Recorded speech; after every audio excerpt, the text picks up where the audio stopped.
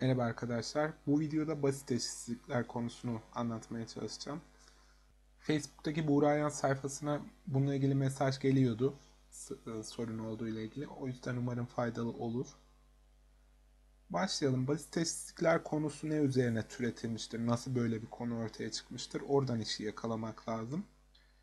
Çünkü sınavlarda eleyici bir konu olarak karşımıza çıkabiliyor. Şimdi basit eşitsizliklerde az sonra anlatınca da göreceksiniz ki tek kullandığımız şey toplama, çıkartma, çarpma ve bölme. Bunun dışında bir şey yok. Ama nasıl bir e, zor bir konu oluyor ona gel- geleceksek e, şöyle bir şey var. Bir örnek vereyim. Mesela x büyüktür 7. Bunu sayı doğrusunda nasıl gösterirsiniz? Şöyle çizersiniz. 0 dersiniz, 7 dersiniz. Bunun bu tarafı dersiniz. Bu taraf verilen x'i sağlar. Eksi, peki bunu eksiyle çarptığımızda ne olur? Yani basit düşünürsek şöyle deriz. İki tarafı da eksiyle çarptım işte. Eksi x büyüktür. Eksi 7. Ama böyle olmuyor. Nasıl oluyor? Eksi x küçüktür. Eksi 7 oluyor. Çünkü eksiyle çarpmak aslında şu demek sayı doğrusunda bunun sıfıra göre simetriğini almak demek. Bu burasıydı ya 7'nin sonrasıydı ya. Sayı doğrusunda 7'nin sıfıra göre simetriği neresidir? Eksi 7'dir. Ek- Şimdi bu bölgenin simetriğini alıyoruz. 7'den sonsuza gidiyordu. Burada da eksi 7'den sonsuza gidecek. Tam simetriye dikkat edersek. Dolayısıyla ne oluyor? Buradan sonsuza gittiği için de eksi x küçüktür eksi 7 oluyor. İşte mesela x büyüktür 7'yi eksiyle çarparken eksi x büyüktür eksi 7 yazacağı için çoğu kişi buradan bir sürü kişi eğlenebiliyor. E bizim zaten sınav eleme üstüne olduğu için bu çok önemli bir veri sınava hazırlayan için. İşte basit eşsizlikler de bunun gibi konular üzerine türetiliyor. Bir başka nokta mesela örneğin x büyüktür 3. Değil mi? Şimdi iki tarafı da 1 bölü yaparsak ne olur? Hani hiç düşünmezsek deriz ki 1 bölü x büyüktür 1 bölü 3. Peki sağlıyor mu? Yerine koyalım bakalım. Mesela x 3'ten büyük ne olabilir? Mesela 5 olabilir. 1 bölü x 1 bölü 3'ten büyük diyoruz. 1 bölü 5 1 bölü 3'ten büyük mü? Yani bir tane parçayı 5'e bölersek mi daha büyük parçalar elde ederiz? 3'e bölersek mi? 2, 3, 4, 5. Burada daha büyük parçalar elde ediyoruz değil mi? 1 bölü 3 daha büyük. Öyleyse bu eşitlik eşitsizlik sağlanmıyor. Yani 1 bölüsünü alırken de işi yön değiştirerek yazmamız gerekiyor. Yani x büyüktür 3 ise 1 bölü x küçüktür 3, 1 bölü 3. İşte bu iki bilgi özellikle negatifini alma ve 1 bölü şeklinde çevirme bilgisi eşitsizlik sorularının aslında omurgasını oluşturuyor, gövdesini oluşturuyor. Bunun üstünden eleyicilik belirleniyor. Gelelim şimdi eşitsizlik konusuna. İlk hatırlatmamız şu. Reel sayılar neydi? Doğal sayılar neydi? Tam sayılar neydi? Bize zaten eşitsizlik konusunda şu ikisi çok çıkar. Reel ve tam sayılar. Sınav diliyle konuşursak reel sayılar dediğinde siz kafanıza göre sayı veremezsiniz. Yani 3 de bir reel sayıdır, 3,21 de bir reel sayıdır. Pi de yani pi neydi 3,14 diye başlayıp giden bir sayıydı. Devamını sürekli değişik gidiyordu. Bu da bir reel sayıdır. Dolayısıyla sınav diliyle konuşursak reel sayı dediğinde kafamıza göre sayı vermeyeceğiz. Eşitsizliği sağlamak için. Bir de tam sayılar önemli. Tam sayılarda neydi? İşte 1, 2, 3, 4, 5 gibi e, pozitif sayılar aynı zamanda eksi 1, eksi 2, eksi 3 gibi negatif sayılar bir de 0 vardı. Bunlar tam sayılar kümesini oluşturuyordu. E, Şimdi önemli nokta yine eşitsizlik sorularında eleyici bilgi olarak kullanılan bir şey. Hani bizde klasik şeydir soruya başlayınca bir sürü böyle bilgi görünce insan çekinir. Aslında en güzeli o. Çünkü o bilgilerin hepsi size kullanırsanız sorunun çözümünde fayda sağlıyor. Şimdi şöyle bir soruya başladığınızı düşünün. x küçüktür 2 2a eksi b örneğin böyle soru başladı. Üstte hiçbir şey yok. x'in ne olduğu belli değil, a'nın ne olduğu belli değil, b'nin ne olduğu belli değil. Yani tam sayı mı, ne, reel sayı mı hiçbir şey yazmamış. Ha, bu durum bizim için önemli. Şurada bir tane örneği var. Şu mesela soruya böyle başlıyor. 2 küçüktür x küçüktür 4, eksi 3 küçüktür y küçüktür 8. soruda üst tarafta hiçbir şey yazmıyorsa reel sayı olarak kabul ediyoruz. Yani her şey olabilir diyoruz ve kafamıza göre sayı vermiyoruz. İşte x küçüktür 4 ise x 3 olur demiyoruz yani. Bu da önemli bir eleyici bilgi eşitlik sorularında. Şimdi reel sayıları tanımladık. Her şey olabilir dedik. Doğal sayılar zaten sıfırdan sonsuza kadar giden sayılar ve tam sayılar sıfırdan sonsuza kadar giden ve sıfırdan eksi sonsuza kadar giden 1 gibi, 2 gibi, eksi 1 gibi, eksi 5 gibi tam sayılar. Küçük bir örnek mesela b küçüktür 5 ve b doğal sayıysa ne olabilir? 5'ten küçükmüş 4, 3, 2, 1, 0. Peki eksi 1 diye gidebilir miyim? Gidemem çünkü doğal sayılar demiş. Doğal sayılar neydi? Sıfırdan sonsuza kadar olan sayılardı. Öyleyse b ne olabilir? 4, 3, 2, 1, 0. Eşitsizlikler konusunda yine şöyle bir şey var. Küçük türün veya büyük türün altında şu çizgi olursa bu aynı zamanda büyük eşittir anlamına geliyor. Küçük e, veya küçük eşittir anlamına geliyor. Burada küçüktür dediği için küçük eşittir. A küçük eşittir 8 ve A doğal sayı ne demek? A 7 olabilir, 6 olabilir, 5 olabilir, 4 olabilir, 3 olabilir, 2 olabilir, 1 olabilir, 0 olabilir. Aşağısına inemiyor çünkü doğal sayı demiş. Bu sembollere de tekrar bakarsak şu küçüktürdü değil mi? 4 küçüktür A. Hangi tarafı küçükse işaretin o taraf küçük oluyor. Şurası buradan küçük olduğu için bu taraf küçüktür oluyor, bu taraf büyüktür oluyor. Burada B büyük tarafı büyüktür demek. B büyüktür 7. 5 küçük eşittir C. 9 büyük eşittir D şeklinde okuyoruz. Buradan nasıl eleyici bir şey olur? Şimdi soruyu mesela uzun yapar. Siz örneğin 4'e bölersiniz, 2 çıkarırsınız, 2 eklersiniz. Şöyle hızlı hızlı yazarken mesela şöyle bir şey var.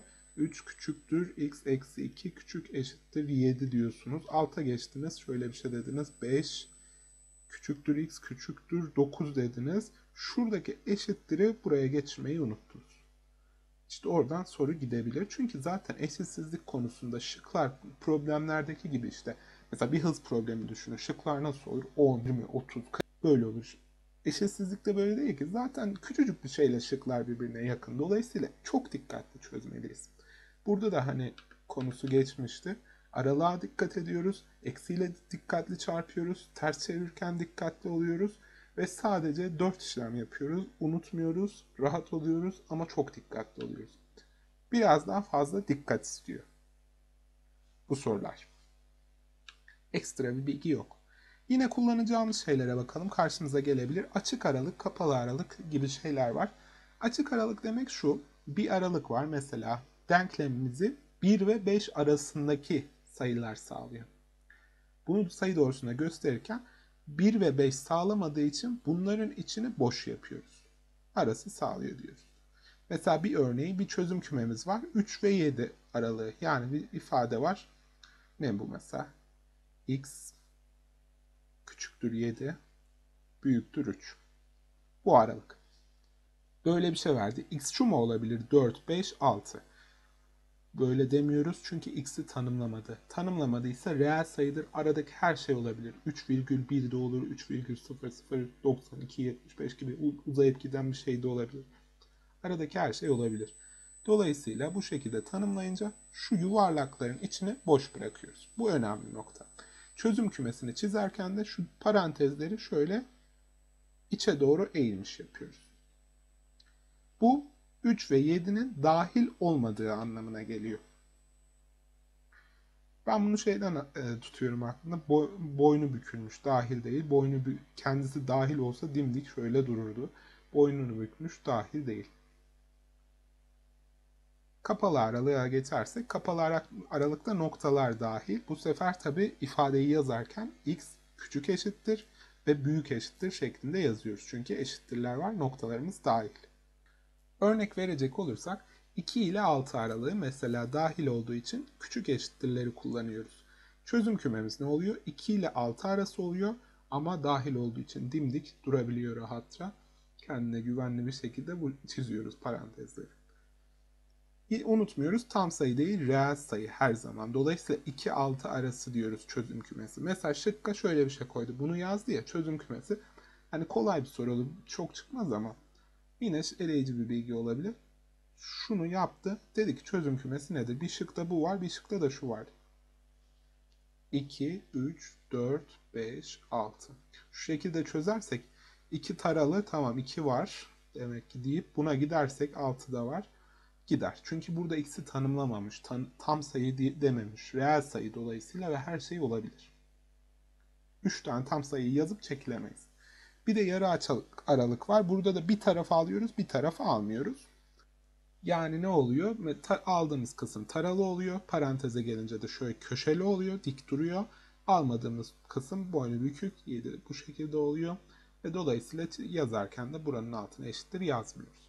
Ha nerede eletir burada? Diyorum ya işlemi uzatır. Bir yerden bir yere geçerken o eşittir görmezsiniz. Hani şöyle iki küçük eşittir deyip şunu göz yanılmasıyla şununla bağlarsanız aşağıya geçerken oradan gidebilir. Yani insan da üzülür çünkü çözdüğü soru. Şimdi eşitsizlik sorularında x'i yalnız bırak diye bir şey var. x'i kendi haline bırakacağız. Ne yaparsak yapalım x'i kendi haline bırakıp denklemi çözeceğiz. Mesela x eksi 1 küçüktür 10. x'i bulacağız değil mi? Birkaç okuma yapalım. Mesela şöyle düşünebiliriz. X öyle bir şeymiş ki bundan 1 çıkarınca küçüktür 10 oluyormuş. Öyleyse 1 çıkarmazsam ne olur? Küçüktür 11 olur. Başka bir şekilde düşünelim. Burada bir terazi olsaydı nasıl olacaktı? Terazi. Şöyle bir terazi var.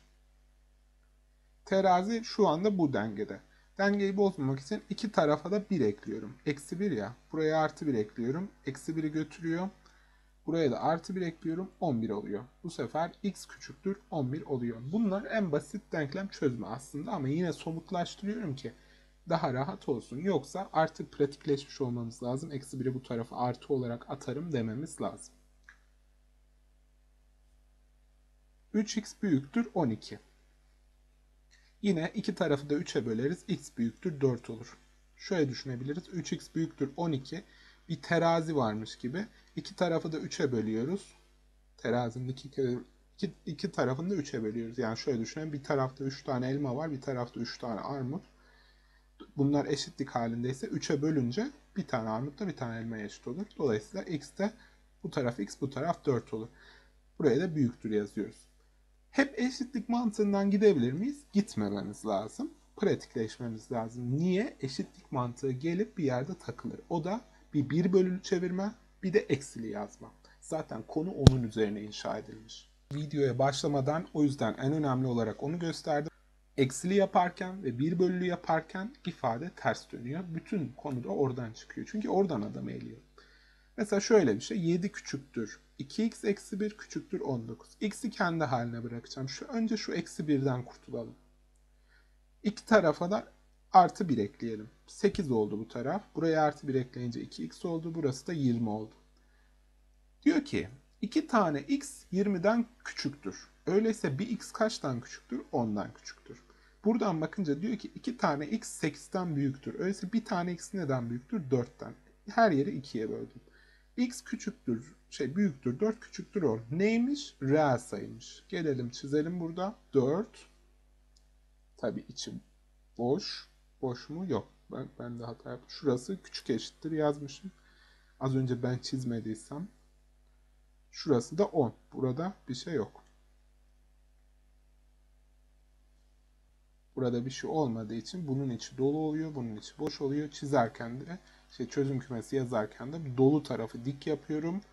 Diğer taraf boş olduğu için boynu bükük. Buna gelelim. Bölülü kısım her zaman sıkıntıdır. İlk başta kurtulunması gerekendir. Tek satıra indirmeye çalışın arkadaşlar. Tek satır. Yani şunu şöyle tek bir şekilde okuyayım ki ben toplama çıkarmaya indireyim. Şu an 4 tane işlem var kafamda. 3 her yeri 3'e bölmüşüm. Yani şurada bir şey varmış. 3'e bölünce 2'den büyük oluyormuş. 6'dan küçük oluyormuş. Her yeri 3 ile çarpalım. 2 3 ile çarptım 6 küçük eşittir. Burası x artı 3 küçüktür 18. Şimdi her yerden 3 çıkaralım.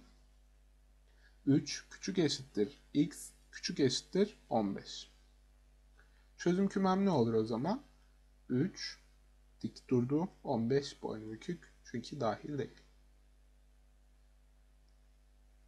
Evet. Gelelim bu soruya. Şimdi zorlaştıracak ki aslında burada tek yaptığı denklem çözme ko- konunun mutlak değerle alakası şey eşitsizlikle alakası yok. Mutlak değerde de aynı konsepti vardı. Soruyu oradan zorlaştırıyor da bir küçük eşitsizlik ifadesi görünce tabii biz bunu eşitsizlik sorusu diye okuyoruz. Ama şöyle şimdi bu sorunun ana noktası nedir? Eksi 4 küçük eşittir y küçüktür 4. x eksi 2y eşittir 1. Tabi sınavda demiyor üstünde eşitsizlik sorusu. Sınavda biz bunu okuduk. X'in alabileceği tam sayı değerleri nedir? Bunu okuyunca eşitsizlikle ilgili alakasını şuradan anlayacağız. X'in alabileceği değerler var. Alamayacağı değerler var. Demek ki bir aralıkta X. E, aralıkta hangi konuyu buluyorduk? Eşitsizlik konusu belli aralıktaki şeyleri bize veriyordu değil mi? Dolayısıyla aslında sayılar konusunun biraz süslenmiş hali. Bir noktaya odaklanıp süslenmiş hali. Ee, şimdi burada x'in aralığını bulacağız ama y ile ilgili bir aralık vermiş. Bu garip bir şey değil mi? Y ile ilgili aralık veriyor. x'in bize şeyini soruyor. Dolayısıyla şöyle yapacağız. Ben y'yi y'yi buradan çıkaracağım. x sokacağım buraya. Ama şöyle şöyle bir denklem var. Nasıl yapabilirim? Şöyle bakalım. x eksi 2e eşittir 1. Şu x'i karşıya atsam eksi 2y burada kaldı. 1 eksi x. Sonra iki tarafı da 2'ye bölsem y eşittir 1 eksi x bölü 2. Şurada eksi var. İşte dediğim şaşırtmalar bu. Buradan buraya geçerken eksi unutursak gitti soru.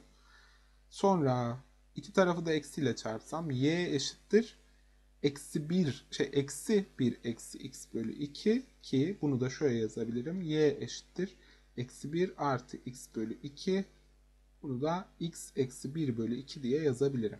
Ha diyeceksin ki ben buradan bunları yaparken yolun yarısında ulan ben yanlış yolda mıyım diye düşünebilirim.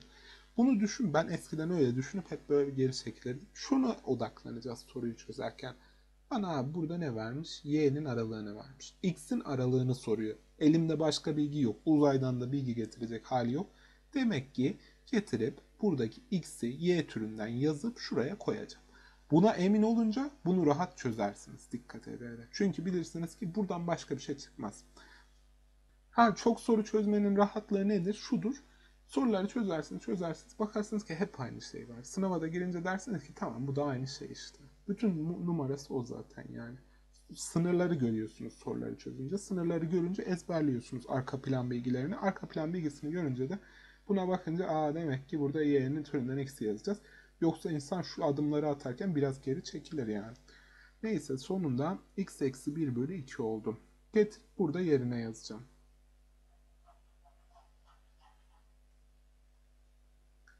eksi 4 küçük eşittir x eksi 1 bölü 2 küçüktür 4. Şimdi her yere 2 ile çarpacağım önce. Şu 2'den kurtulalım. Eksi 4'ü 2 ile çarptım. Eksi 8 küçük eşittir x eksi 1 küçük eşittir 8. X'i yalnız bırakmaya çalışıyordum. Şu eksi 1'den kurtulalım. Her yeri e, 1 ile toplayalım.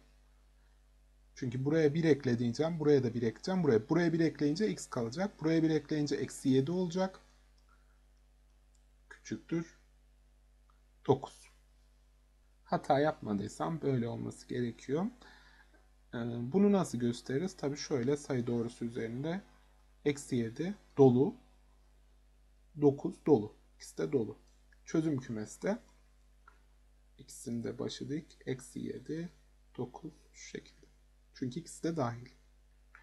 Evet geldik eşitsizlik sorularını soru hazırlayan kişilerin işte dönüm noktası dediğimiz yere bir sürü kişiyi tuzağa düşürdükleri yere. Şimdi soldaki soru ve sağdaki soru arasında çok küçük bir fark var. O da şu. Birinde diyor ki bunlar tam sayıdır. Birinde şöyle diyor işte. Şöyle bir şey diyor. Yani hiçbir şey demiyor. Bomboş veriyor. Şimdi e, konuyu bilenler burayı görünce biraz geri çekilmeleri lazım. Çünkü bu her şey olabilir. Kafama göre sayı veremem. Öyle yani burayı boş görünce sevinmekten ziyade biraz daha gerilmek gerekiyor. Burada işiniz daha rahat. Çünkü tam sayı olduğunu söylüyor. Ne olduğu belli. Şimdi diyor ki x artı y'nin en büyük değeri.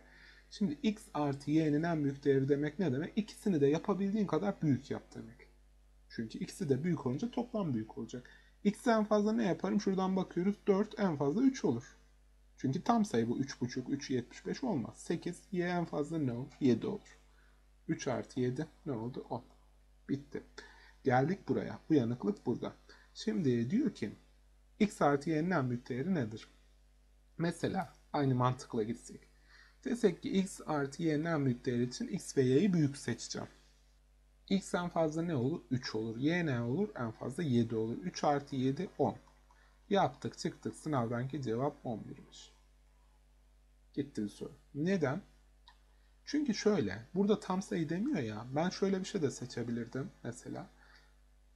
x 3,5 olsun y de 7,5 olsun. Uyuyor mu? Uyuyor sorun yok. Toplayınca ne oluyor? 11. Oldu cevap. 12 olabilir mi? İmkansız. Çünkü 12 olması için şu 4 ve 8 değerini alabilmesi lazım. Yani burada birinde eşitlik olsa bile bu 8'i alabilse bile bu 4'ü alamadığı sürece toplamları 12 olmaz. Sınavda şaşırtmak için bir de şey diyor. x artı y'nin e, zaten şöyle en büyük değeri yazmışım da burada en büyük tam sayı değeri nedir? Şuraya yazmayı unutmuşum. Tam sayı değeri. Şimdi soruyu hızlı okuyoruz ya şöyle okuyoruz. E, tam sayıymış. Tamam tam sayı ne var? Bu değil. Burada cevabın en büyük tam sayı değerini istiyor. Size x ve y tam sayıdır demiyor. Zaten uyanıklığı burada yapıyor. Dolayısıyla biz şöyle diyeceğiz. x ve y'yi mi topluyorum? Tamam hiç yormuyorum. Denk, reel sayı gördük mü bu, bu mantık. Denklemleri alt tarafa toplarım. x artı y küçüktür 4 artı 8 12. 12'den küçükmüş. En büyük tam sayı nedir 12'den küçük? 11. Öyleyse cevabım 11. Dert çekilir. Reel sayıda olay bu. Şimdi geçelim iki tane önemli videonun başında da söylediğim eleyici bilgiye. Birincisi yön değiştirme. Eğer 2x'ten küçükse 1 bölülü yazınca 1 bölü 2 1 bölü x'ten büyük oluyor. Garip gibi geliyor ilk bakışta ama şöyle bir mantığı var. Hani düşünüyoruz 2'den büyük ne olabilir? 4. Çevirelim 1 bölü 2 mi büyüktür 1 bölü 4 mü? Bir tane pastayı 2'ye bölersek mi büyük parçalar olur? 4'e bölersek mi? Tabii 2'ye bölersek öyleyse 1 bölü 2 1 bölü 4'ten büyük. Sağlanıyor mu? Sağlanıyor. Daha da çok fazla karıştırmaya gerek yok altını. Mantığı bu. Buna dikkat ediyoruz. Az sonra soruda göstereceğim. Yani veya x küçük eşittir 8, eksi 8 ise ters çevirince 1 bölü x büyük eşittir eksi 1 bölü 8 oluyor. Yine aynı mantık. Denersek görebiliriz. Mesela x eksi 8'den küçük ne olsun? Eksi 10. 1 bölü eksi, eksi 1 bölü 10 mu büyük? Eksi 1 bölü 8 mi büyük? Ben bunları şöyle yapıyorum. Önce pozitif düşünüyorum. Bir parçayı 10'a bölersek mi büyük olur, 8'e bölersek mi? 8'e bölersek parçalar daha büyük olur ama eksili olduğu için tersini yazacağım. Bu tarafa büyük yaz yazacağım. Şeklinde düşünüyoruz. Burada da onu demiş. Yoksa bir daha bölüp eksi 0,1, eksi 0,125 falan onlara girersek karışıyor. Bu dediğim önce pozitif düşünüp tam tersi daha mantıklı oluyor. Bir de ters çevirme var. Bunu az önce sayı doğrusu üzerinde nasıl olduğunu gösterdim. Mesela x büyüktür 7. Bunu biz sayı doğrusunda nasıl tanımlarız? 7'den büyük şuralar. Eksiyle çarptığımızda aslında bunun simetriğini alırız sayı doğrusuna göre arka planda. Dolayısıyla bu sefer ne oluyor? Eksi 7'den sonsuza kadar oluyor. Tam simetriği şu uzunluk ne kadar? 7 birim. Şurası da 7 birim. Tam simetriğini aldık mı orası oluyor. Dolayısıyla yine sağlıyor. Bu kadar bakınca zaten tamam artık kullanayım, razı oldum dememiz lazım. Şimdi geçelim bir örneğe bunları kullanabileceğimiz. 3 küçüktür 4 bölü 2 eksi x her türlü gıcıklık var soruda. Küçüktür eksi 1 bölü 3. Şimdi biz burada ne diyeceğiz? Önce x'i yalnız bırak diyeceğiz. x nerede? Oo çok gıcık bir yerde. Şimdi bunu nasıl yalnız bırakacağız? Bir kere üste çıkması lazım. Üste çıkacak. Sonra bölünülü şeylerden kurtulabildiğimiz kadar kurtulmamız lazım. Sonra bir de eksiler var. Onları da kaybederken işareti ters çevirmeye çok dikkat etmemiz lazım. Zaten şıklardan en eleyici olan odur. Birini B'ye birini E'ye koyarlar böyle çapraz. Yanlışlıkla gözün ona gider. Oradan gidebilir ki ben çok yapmışımdır bunları. o yüzden söylüyorum. Şimdi 3 küçüktür şey, bu ifade küçüktür eksi 1 bölü 3. İlk önce x'i yukarıya çıkartmayı düşünüyoruz. X'i şöyle hani böyle oyun oynar gibi kutuyu getirip yukarı çıkaracağız. Dolayısıyla kutu şurada. Önce bunu yukarı çıkaracağız. Sonra kutunun yanındaki ıvır zıvırdan kurtulacağız. Kutu tek başına kalacak. Artık kutunun neye eşit olduğunu göreceğiz. Şimdi ters çevirdiğimizde 3 1 bölü 3 oldu. 1 bölü 3 aklıma şey geldi bu böyle bir oyun vardı eskiden. Bu çok Nokia 3310 zamanlarında Samsung'un böyle bir kutu oyunu vardı. Ee, belki eskiler bilir. Şimdi dönersek 3 küçüktür bu. Küçüktür eksi 1 bölü. Şimdi ilk önce ters çevirdik. Ters çevirirken neye dikkat ediyoruz? İfadeyi ters çevirmeye. Küçüktür, büyük, büyüktür oldu. Neden? Ters çevirdik. Bunu getirip 1 bölü 3 küçüktür 4 bölü 2 eksi x pardon onu da çevirdik diyelim. 2x 2 eksi x bölü 4 o da küçüktür eksi 3 şeklinde yazarsak gideriz ki bunu sınavda çok kişi böyle yazıp gidecek. Birinci eleme noktası bu çünkü zaten getirip iki toplamadan kimseyi elemiyor. Buradan bir çevirdik. Ne oldu? 3 1 bölü 3 oldu. 4, bu tam tersi oldu. Bu da eksi 1 bölü 3. Eksi 3 bölü 1 oldu veya eksi 3 oldu. Geldik ikinci kısma. Hala paydanız var. Bundan kurtulmamız lazım. Her yeri 4 ile çarpıyorum. Bunu yapıyorduk ya şöyle diyorduk. Mesela böyle bir şey her yeri 2 ile çarpıyorduk. 4 küçüktür, x küçüktür 12 oluyordu. O, o mantık tabi burada x'ler y'ler gelince biraz kafa karışabilir. Başka hiçbir şey yok. Konunun başında demiştim ya 4 işlem başka hiçbir şey yok. Tamam 4 bölü 3 oldu burası. Burada 4'ten kurtulduk. Burası da eksi 3'te eksi 12 oldu. Geldik. X'ten kurtulacağız. Artı 2'miz var yanında. Şöyle bir artı 2. Öyleyse her yerden 2 çıkaralım. 4 bölü 3'ten 2 çıkarırsak ne olur? Payda eşitlediğimizi düşünelim. 4 bölü 3 eksi 6 bölü 3 o da eksi 2 bölü 3. Zaten şöyle şıklardan bunu yavaştan görmeye başlarsınız. Çünkü şıkları eksi 2 bölü 3, 2 bölü 3, eksi 14 artı 14'e göre 4 olasılık üzerine kurup bir de eşitliği kaldırıp koyar. Oradan 5 tane şıkkı üretir rahatça. Başka bir şey yapmaz zaten. Diyorum ya o yüzden çok önemli çözüm esnasında bu işaretler. Tam gelirsiniz bak 2 bölü 13'ü buldum 14'ü buldum tamam doğru cevap var. Oysa ki orada bir tane eksi işareti eşitsizlik sorusunda götürür adamı o önemli. Eksi 2 bölü 3 büyüktür. Eksi x dikkat ediyoruz. Eksi x kaldı. x kalmadı burada.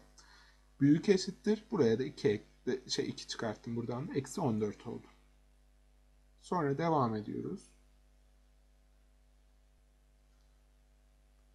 Heh, şurası kaldı ve son adıma da dikkat. Eksi x'i x şeklinde yaparken ne yapıyoruz? Eksiyle çarpıyoruz. Bizim en dikkat etmemiz gereken noktalardan biriydi eksiyle çarpma. Bir de neye kullandık? 1 bölü alma. İkisini de kullandık bu soruda. x oldu. 2 bölü 3 14 oldu. Mesela geldiniz şurada şu küçüklüğün çizgisi yanlışlıkla kaldı. Oraya buraya bunu şey büyüktür, küçüktür diye geçirdiniz. Çizgiyi koymadınız. Yine şık yanlış olur ve bu kadar emek ziyan olur. O yüzden videonun çoğunda dediğim gibi dikkat çok önemli eşsizlik sorularında. Şöyle bir şey oldu. Yine ters çevirdik. Eksi 2 bölü 3 artı 2 bölü 3 oldu. İşaretimiz ters döndü. Eksi gitti artı geldi. Evet yine döndü. Büyük eşittir. Küçük eşittir oldu. Ve çözüm kümemiz burası dahil olmadığı için eğik. Burası dahil olduğu için dik. Ve son bir soruya da bakalım. Şöyle bir ifademiz var. Hem, hemen ne yapıyoruz? Şuradaki yazıyı okuyabiliyor muyuz? X ve Y reel sayılardır. Niye? Çünkü bir şey dememiş. Buna dikkat ettik. Buradan bir önemli puanı yakaladık. Sonra geldik buraya. Diyor ki bir ifade var. Bunun en büyük tam sayı değeri nedir diyor. Şimdi 4x ve eksi 3y'yi önce bulmam lazım. Şu ifadeyi vermiş. Buradan 4x'e nasıl ulaşırım? Ters düşünelim. 4x verseydi x'i yalnız bırakıyorduk değil mi? 4'e bölüp her yeri. E, x vermiş 4x'e ulaşmamızı istiyor. Her yeri 4 ile çarpalım. 4 nasıl bir çarpma? Bizim iki önemli sorumluluğumuz olan eksi ile çarpma ve 1 bölü çevirme 1 bölü şeklinde çevirme ile alakası var mı? Yok. Sıradan bir çarpma. Öyleyse işaretleri değiştirmiyoruz. Eksi 12 küçüktür 4x küçüktür 24. 4 ile çarptık. Tamam bunu yakaladık. Şimdi gelelim y'yi eksi 3y'ye çevireceğiz. Önce bir 3y yapalım. 3 ile çarpma normal. 9 küçüktür 3y. 3 ile genişlettik iki tarafta. 27. Geldik eksiyle çarpmaya ki sorudaki herkese elediği yer burası. Eksi 9 büyük eş, büyüktür. Eksi 3y büyüktür. Eksi 27. Getirdik altına yazdık. Eksi 9 eksi 3y büyüktür. Eksi 27. Sonra ne diyor? Bunun ifadesinin en büyük değerini soruyor bize. Bunu bulacağız ama önce işaretlerimizi düzenleyelim şurada. Eksi 3y şuymuş. Bunun aynısı şu değil mi? Eksi 27'den küçük. Eksi 3y. Aynı zamanda 9'dan eksi 9'dan büyük. Aynı şeyi tersten yaz. Anlamda bir kargaşa olmadı yani yine aynı aralığı aldım. Şimdi burayı aldık elimize ve diyor ki 4x eksi 3y'yi bulacağız. İki tarafı toplayalım alt alta. 4x eksi 3y topladığımızda 24 eksi 9 daha 15 oldu. Öyleyse 4x eksi 3y'nin alabileceği en büyük tam sayı değeri bundan küçük. Ve dikkat edelim şurada yine tam sayı dedi. Hızlı okuyup tam, x ve y tam sayıymış gibi düşünmüyoruz. En küçük tam sayı değeri de 15'ten küçük. Bu ifadenin alabileceği tabii ki 14'tür. Umarım faydalı olmuştur. Önemli noktalara değinmeye çalıştım.